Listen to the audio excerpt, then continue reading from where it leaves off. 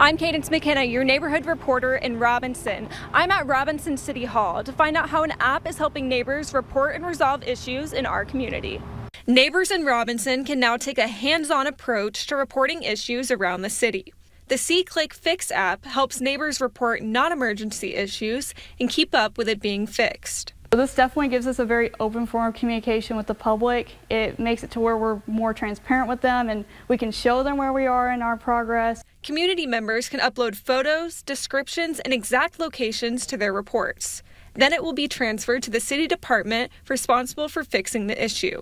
The app is for non emergency issues only, so if you're having an emergency, call 911. Your neighborhood reporter in Robinson, I'm Cadence McKenna.